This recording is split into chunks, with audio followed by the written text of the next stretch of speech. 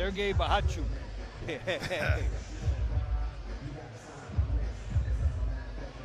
That's right. Bohachuk. Very good. Very good. Hachuk. Or Hachuk. I'll get it after two or three times. The fight goes that long. Hey, how would you like to have had Rashid Noy Singbat Parchak for 10 rounds?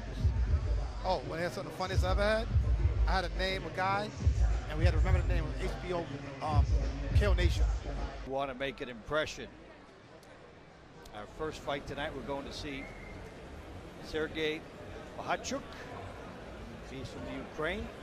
He'll be taking on Yasmani Pedroso. Welterweight, Pedroso from Miami, 28 years old. Take a look at these guys. You see Bohachuk's numbers. It's 2 0. The Bohachuk is 21, Pedroso 28, and a height and reach advantage for the Ukraine fighter. Big numbers in his advantage. He's able to use them in this fight.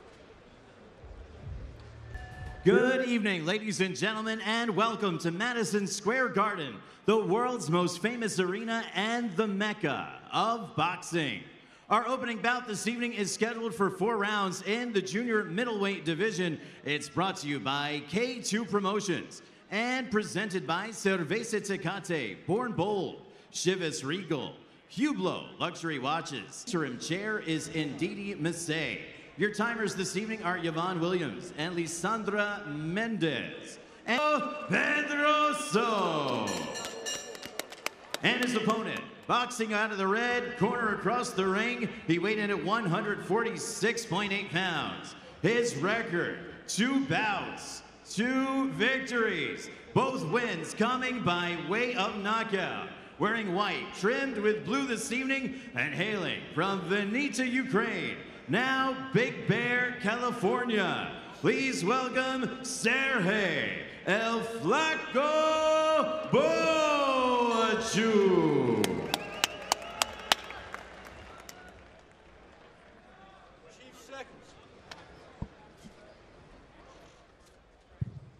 Gentlemen, I've given you the rules of the New York State Athletic Commission with your interpreters.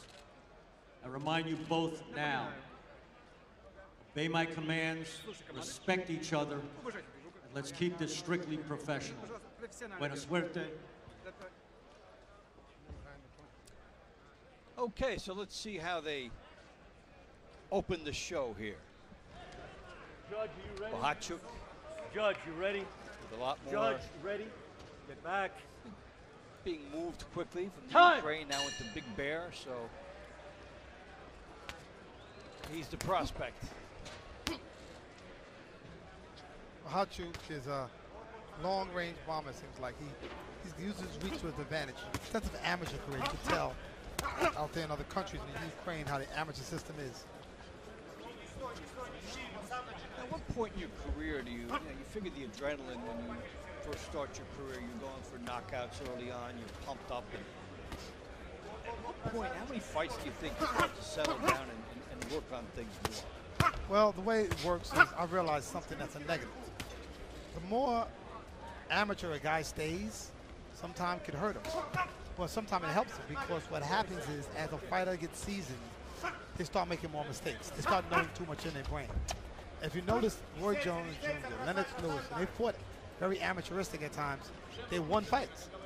It's when you get pro and you start knowing what you're doing, you lay in a pocket, okay, which means stay in the pocket, stay in front of your opponent, then you take from the risk of getting hit.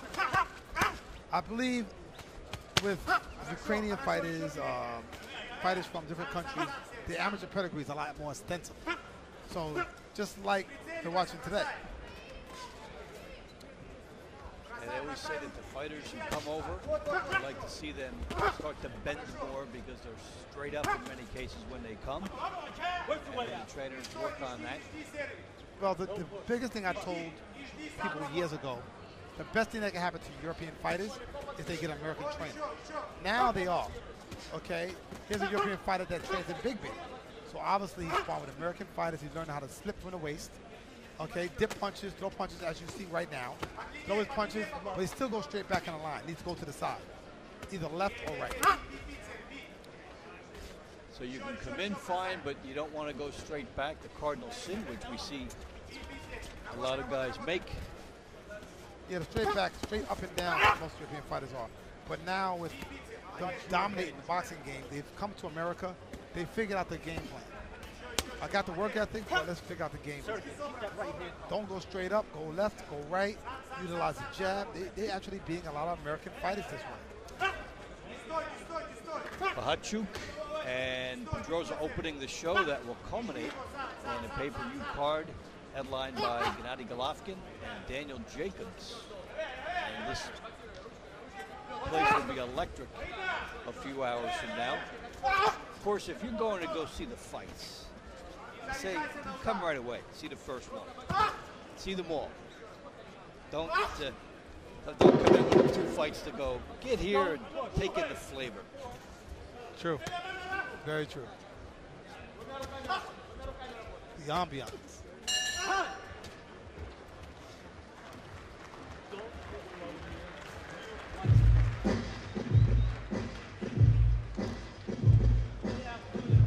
Hey, boxing fans, the NYPD Boxing Championship returns to the.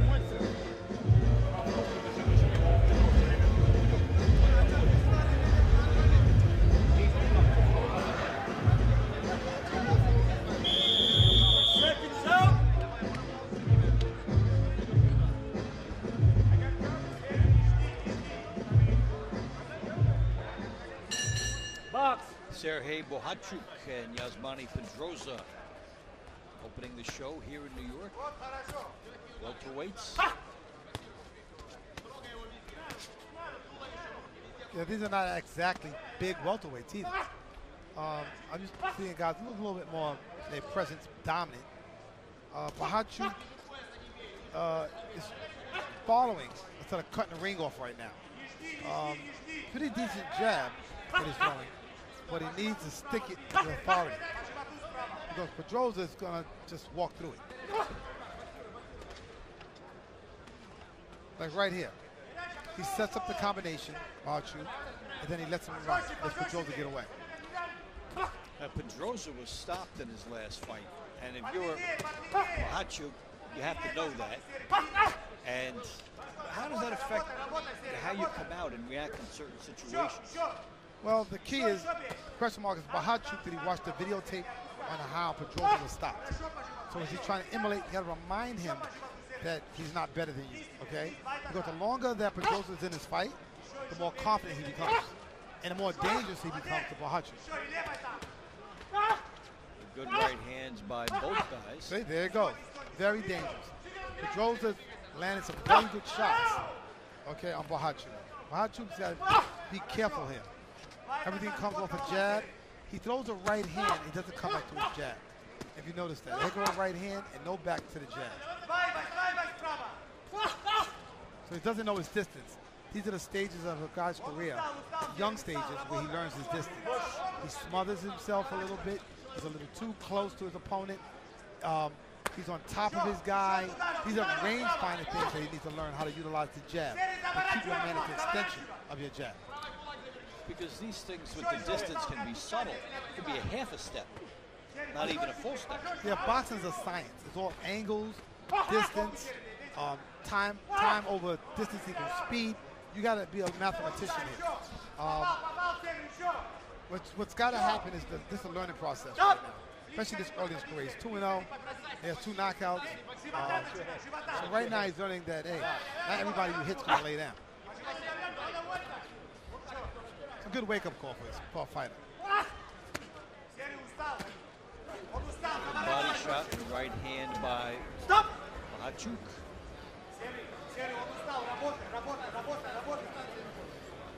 Box. Not considered a knockdown, but the message is effectively the same thing. Joe, Joe is very durable. And he's doing some nice durable things in here. He's catching Bohachuk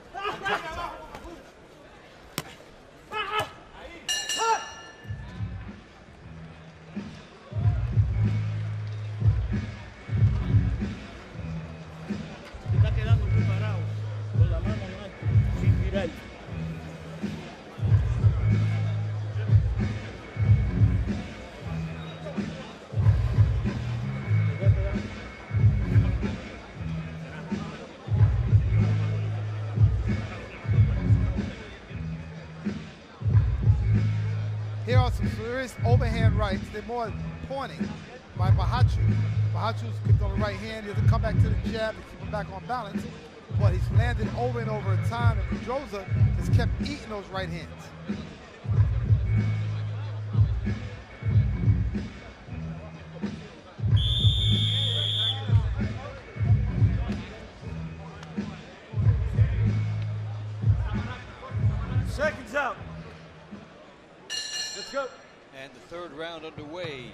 Hachuk and Pedroza. Box.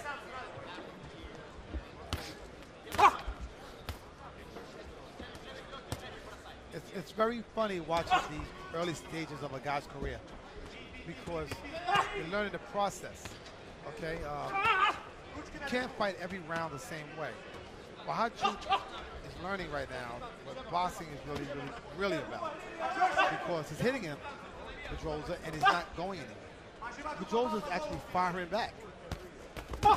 So it extends him to bring more to the table. Yes, well, this is a fight that he could go home, get examined what he needs to improve on. Uh, distance is number one. He smothers him like right there. He's too close. Okay, he's got to know how to keep his man at bay by utilizing the jab and catch his man at the end of the jab. Um, Pedroza is kind of awkward for him. So things like this is a better fight. And Pedroza's starting to weaken.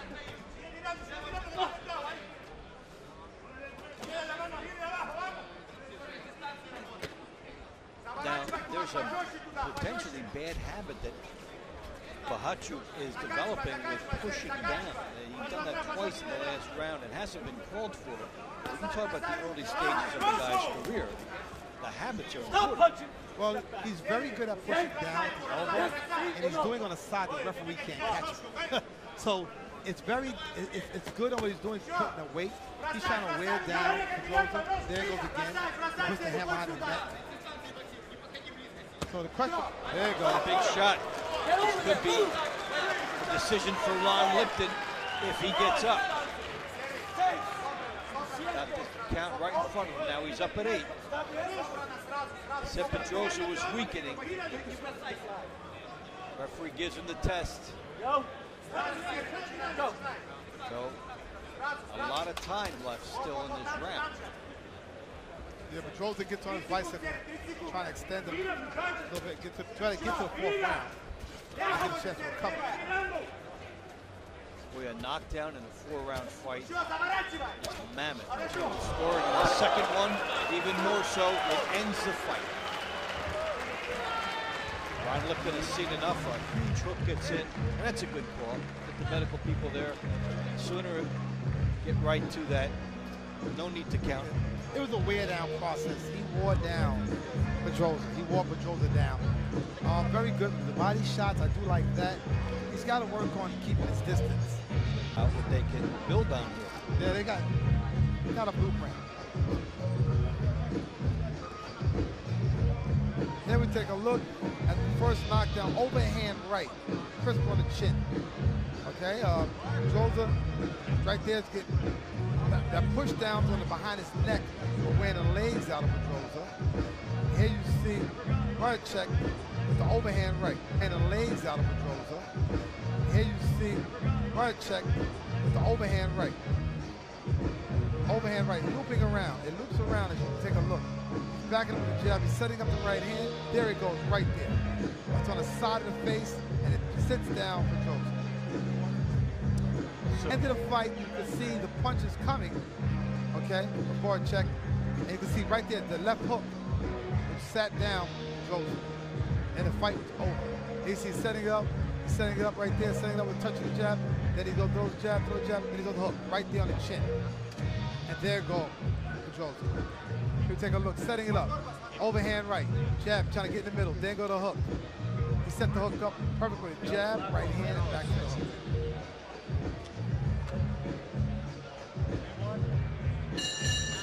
Ladies and gentlemen, the referee in charge, Ron Lipton, calls for a halt to the action. Your official time, 2 minutes, 28 seconds in round number three. Your winner by TKO and still undefeated from Veneta, Ukraine and Big Bear, California, Sergey El Flaco.